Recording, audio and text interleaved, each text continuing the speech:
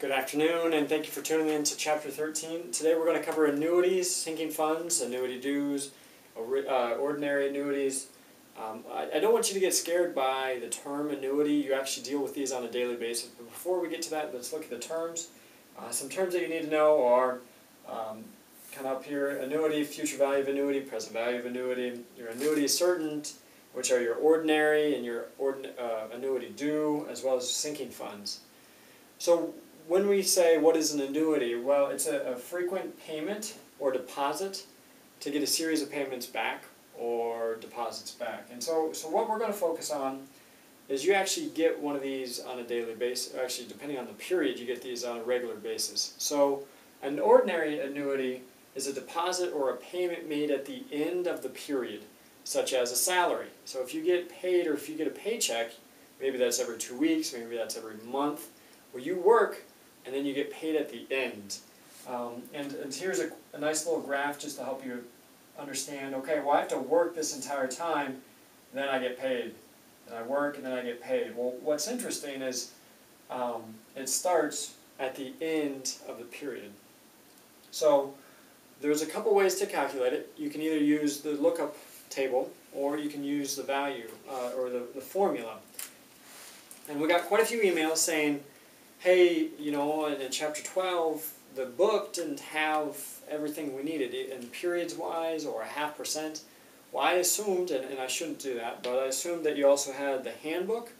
And in the handbook, it, it basically has a percent takes up the whole page. So this is 2%, and, and I got my periods all the way down from 1 to 50. And then going across the top, I've got my future value from chapter 12. I've got my present value in chapter 12 as well, so the first two columns. Well, then we go into the, the values of the ordinary annuities, then you got your present values, and then you have your sinking funds. And so what, what we're going to do is look at our periods and go over and find the value that we need. But it's by page. So two and a half, three, three and a half. So this handbook will be very helpful for the test as well as for your homework.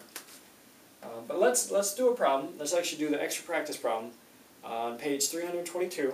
So we actually kind of understand how this works. Um, and it says, and I've got it, and we'll come down to right, uh, it says that we are supposed to use table 13 dash or point 1 to find the value of an investment after four years on an ordinary annuity of $5,000 made semi-annually at 4%. So I've got four years at $5,000 at 4.5%.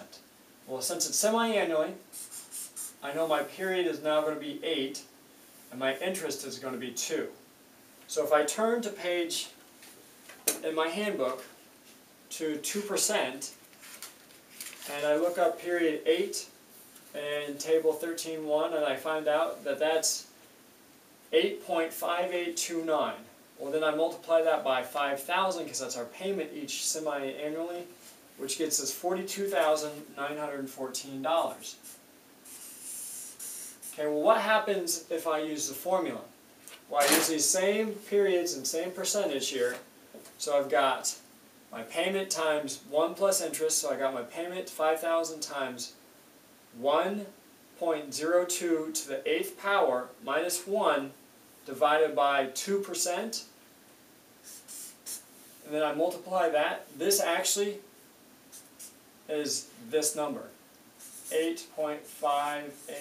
8.5829. So this is the exact same thing. So the, this book was created by doing this formula and then plugging it into a, a little cheat sheet chart for you students, which is kind of nice. So that's how we do an ordinary annuity. Let's take a look at annuity due.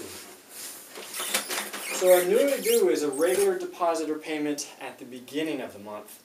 So if you look and see, we're actually starting at the beginning, and we get, if you kind of break this up into segments, we actually get three more segments of interest compounded onto it if it was a three-year or three-period compared to the previous one, because it started at one.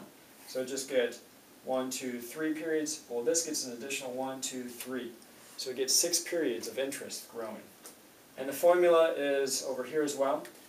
A little bit different what you have to do with the, the table uh, the lookup table, is you have to add one period to your initial periods and then subtract out one payment. So let's let's do a practice so we understand what's going on. So I'm going to turn to 322. I'm going to do 1B. And get out the way so you can see. Now recalculate that previous question, assuming annuity due. So previously we had four years, $5,000 payment. We had semi-annual at 4%. So this is going to equal 8 plus my extra period. So plus 1 equals, so I'm going to look up period 9, and I'm going to look up interest rate 2%. So I'm going to go to 2%, period 9 and over, and that equals 9.7546. We'll multiply that by 5,000. And I'm going to get 48,773. And then remember, I must subtract my one payment, so minus 5,000. So, this annuity due is actually 43,773. Now, could I do it through the formula? Yeah, I could plug them in and have it work out. Um, here you just do the straight formula again. Actually, I can do that after I do number two. Let's move on into the practice problem. It says Wally Beaver won the lottery and will receive a check for $2,500 at the beginning. So you can tell this question, since it says at the beginning, my flag goes up and I say, yeah, that is going to be an annuity due. It's at the beginning of each six months for the next six years. So if I got semi-annually, because that's six months divided by 12, so I'm looking at semi-annually, and then I've got six years, so I'm looking at 12 periods, 6% interest annually. How much we have at the end of six years? So 6% divided by 2 for my semi-annually, so I'm going to be 3%. Well, am I done since this is annuity due? No, I actually have to add one. So my period is equal to 12 plus 1, which is 13, and my interest is 3%. So I'm going to turn to page 3% in the book and look up in the chart 13. That gives me 0.6178. Okay? I'm going to multiply that by the 2500. Plug that into my calculator. I'm going to get 39,000. $44.50. I'm going to subtract one payment of 2500 We'll have a resulting number of thirty-six thousand five hundred forty-four fifty. So that's how I calculate my annuity dues by using the lookup table. Um, I can do it again by plug it into the formula. My payment's going to be either depending on which problem, 5,000 plus 1 to the interest of 3% and my my rate of in and then I actually divide by my interest rate and then I multiply by 1 plus my interest rate to get um, my total.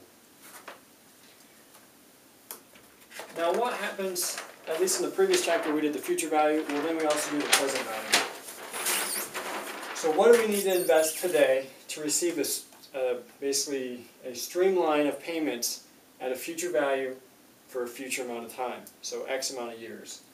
So what we're going to do is we're going to look up our number of periods and our, our rate by calculating it how we have, semi-annually, quarterly, um, and we're going to times it by the factor that we get in the book.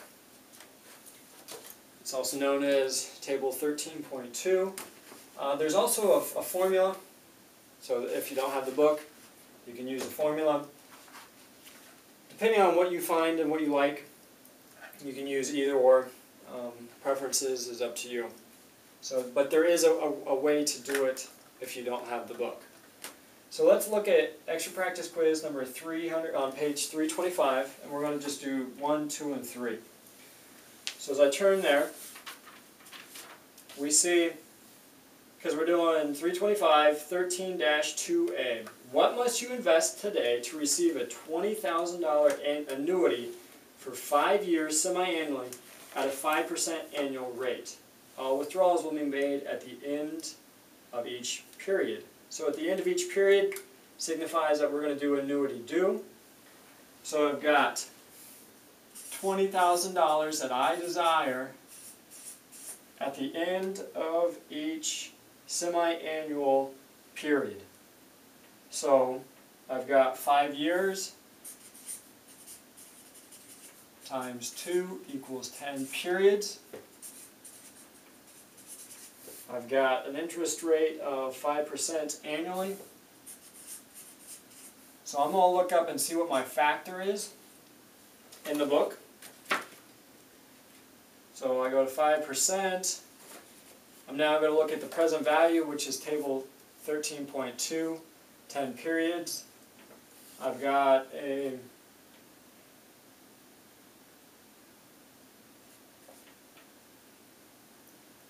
interest rate of divided by 2 is 5, 2.5%. I'm actually going to turn to 2.5% page. Sorry about that. I didn't do my math. Um, 10 gets me a factor of 8.75 to 1. Now I'm going to multiply that by my 20,000. When I put that into the calculator, I'm going to get 175,042 dollars is required today to be able to take out $20,000 for five years.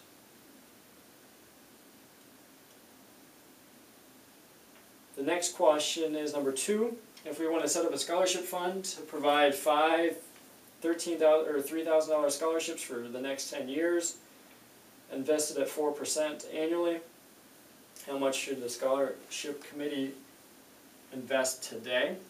Well, we want five $3,000 scholarships. So we want five or $15,000. And it says annually. It also says um, 10 years, 4% annual rate. So 4% and 10 periods.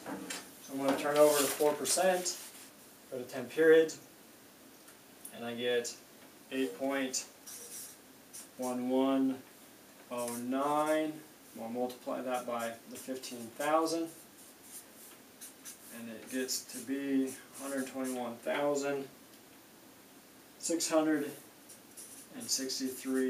121,663.50. Number three says John decided to retire in five years in Arizona. So in five years, John will retire. What should he invest today so he can withdraw $80,000 at the end of each year for 30 years after he retires? Assume he can invest at 3% compounded annually. He's going to retire and he's going to get $80,000 for 30 years. We're assuming 3% annual interest. Now that's, that's going to be quite a bit. So what do we do? Well, first we have to figure out the present value of the annuity, and then we'll have to figure out the present value of that. So what we do is we take the 80,000 and we're going to times it by our factor that we get from 30 periods, 3% interest. So I'm going to look in here, turn to 3% interest, I'll look at 30, all the way down here, and it's a factor of 19.00604 times 80,000 well, that gets us, after I do it on the calculator,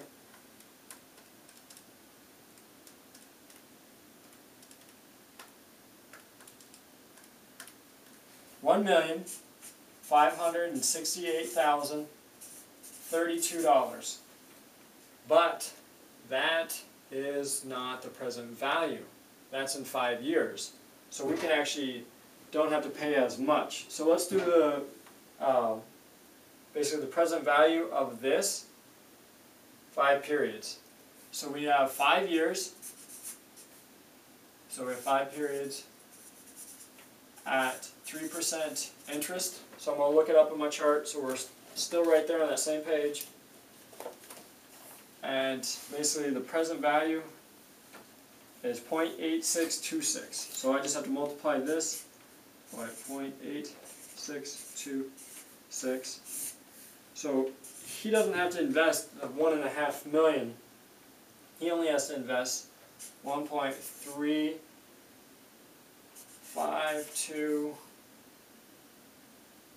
584.4. So one million three hundred fifty-two thousand five hundred eighty-four dollars and forty-two forty cents is what he has to invest, so he can withdraw eighty thousand dollars for thirty years, which seems like a pretty good deal, but I don't have one point three million dollars, so might have to keep on working.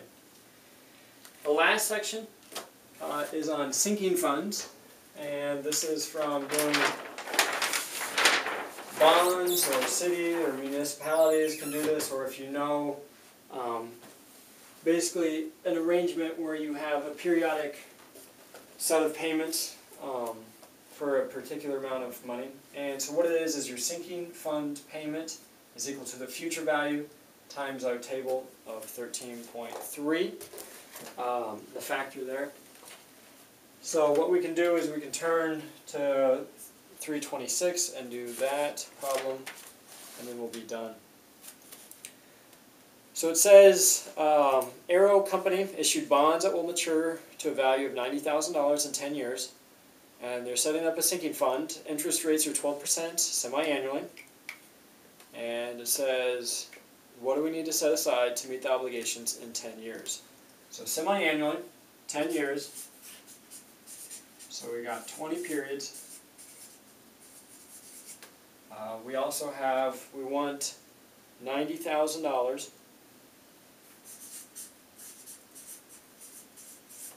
And the last thing was uh, 12%. So 12% divided by 2 equals 6%. So I can look up in my handbook 6%, 20 periods, to get my factor, which I'm going to multiply by 90,000. So 20 periods, I'm in my third table, which point zero two seven two times 90,000.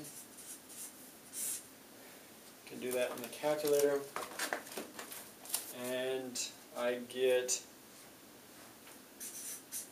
2,400 48, I do believe. Yes. So, don't be scared by chapter 13. Um, by being able to get kind of friendly with your handbook and paying attention to what terms they say, be it uh, beginning or end of the period, or present value, or what's a future value, you'll know what to look up in the handbook. If you have any questions, feel free to hop on the online exam or the online review tomorrow night. Um, and as a heads up, the exam will have four true-false questions from chapters 10, 12, and 13, and nine work them out questions um, for each of those chapters as well. So 40 questions, and it'll be open after the review tomorrow night. Okay, thanks. Take care.